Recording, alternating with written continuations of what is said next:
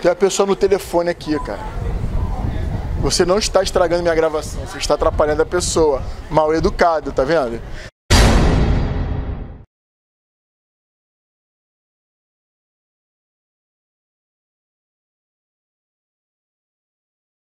E aí, rapaziada que assiste o Aftermath, estamos de volta. Eu sou o Fabrício e hoje, meus amigos, eu tô aqui no Mansão Convida. Como diria meu amigo Davi Coelho, parece coisa de caras, coisa de gente fina, de gente rica. Mas enfim, tô aqui hoje para cobrir esse evento que a Mansão das Peças, que é um coletivo que cria jogos aqui no Rio de Janeiro.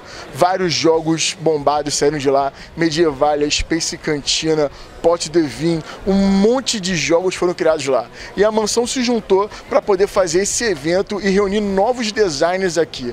Tá bem bacana, são cinco designers da Mansão das Peças, cinco designers de fora da mansão, de fora até do Rio de Janeiro, que estão aqui para mostrar o seu jogo. Então a gente vai conversar agora com os designers, vai mostrar os jogos na mesa e depois a gente volta com o encerramento.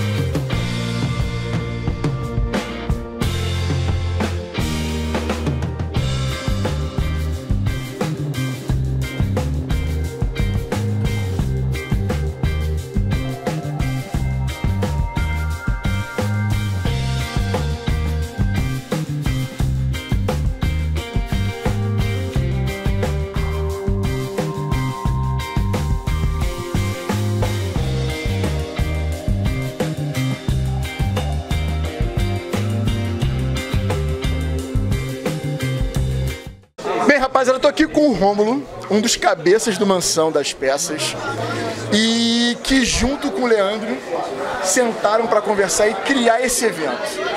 Rômulo, por que, que surgiu essa ideia de fazer o Mansão Convida? Então, cara, o, o, o, o, que acontece é o seguinte, playtest é sempre pouco. Não existe essa coisa de ah, playtest demais. Já fiz muito playtest. Né? Já fiz, não existe Já tá isso, muito cara. playtestado. É, é, se você playtesta jogo até o momento seguinte dele estar tá sendo publicado. Não tem.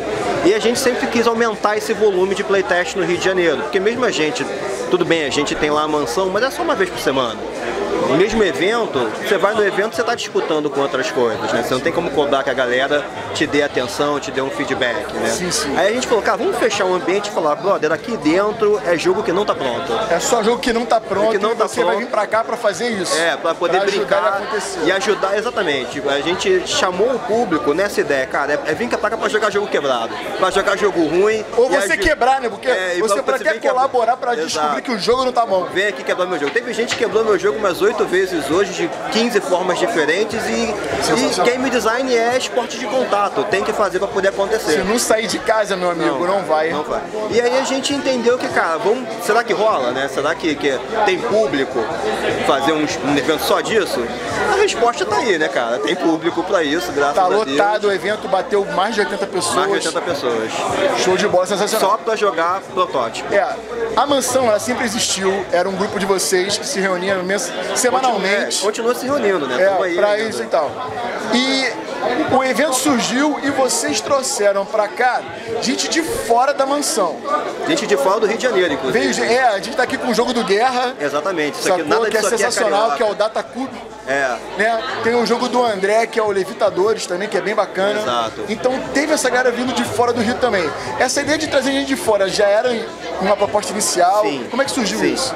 É, esse nome Mansão Convida, né? A gente já fala isso até É Mansão como... Convida, parece até caras. É, pois parece é. Mansão Convida, Ilha de Caras. A, a, gente é muito palhaço, né? É a, gente, muito palhaço. a gente fica criando as coisas com, com, com muito bom humor. Os, né? os nomes pra agredir a É, sociedade. exatamente. Se não é pra causar um risinho, a gente nem sai de casa.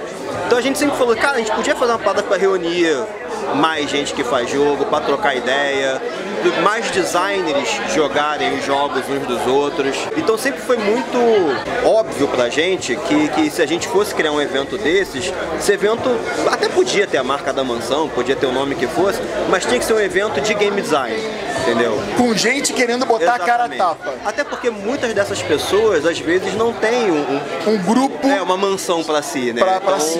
O cara tem mais dificuldade até do que a gente É. de fazer volume de playtest. Isso é sensacional, porque nesse evento tem dois designers que eu sempre vejo botando a cara a tapa. Sim. Que é o Sanderson e o Suami.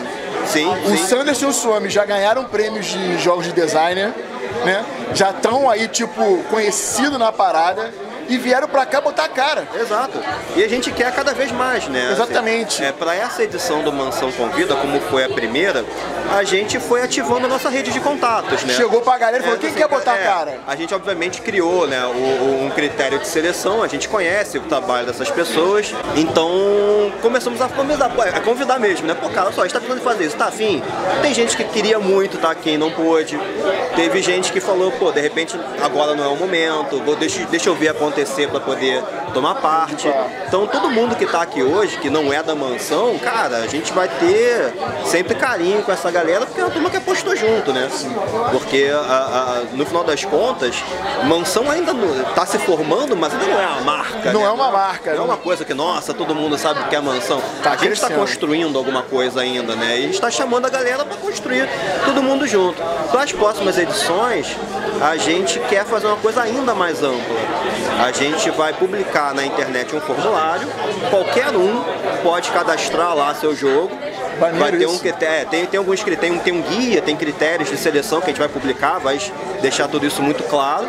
Então você, de qualquer lugar do Brasil, se quiser colocar teu jogo aqui, você vai se cadastrar, vai ter um sorteio, né? Pessoa sorteada tá fora do sorteio para os próximos, a gente quer o público Que do- tenha um, um, Exato, uma um maior, né? uma exato. rotatividade. Até porque é isso que chama o público. Se a gente fizer três, quatro eventos sempre com os mesmos protótipos, Não vai ter graça. começar a cair. Então, a ideia é criar uma galera no Rio de Janeiro que saiba, porra, deixa eu ir lá jogar uns jogos muito doidos. Uns jogos que eu sei que não- nem sei se vão ser lançados algum dia, mas vai ser Mas uma experiência doida. Vai ser, a gente quer criar um público playtester.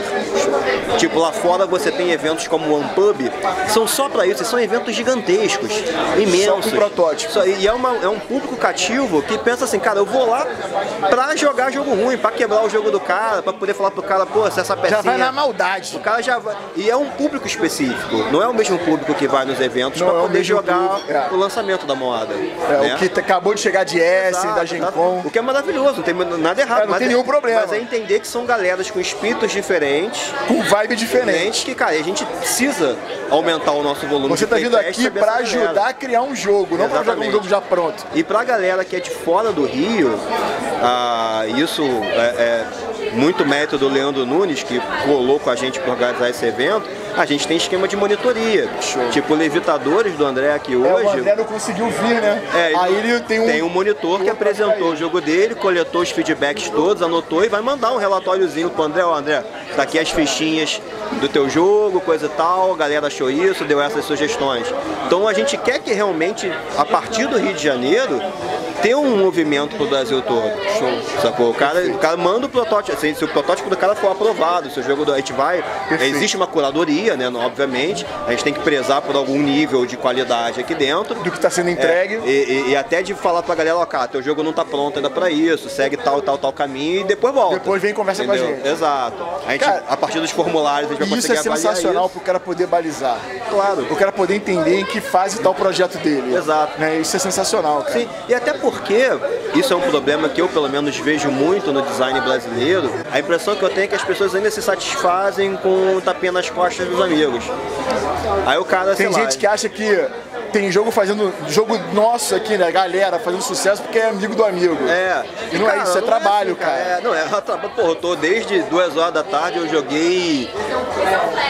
Já perdi a conta, mas é mais de 10 e menos de 15 mesas hoje do Cassino Zeppelin.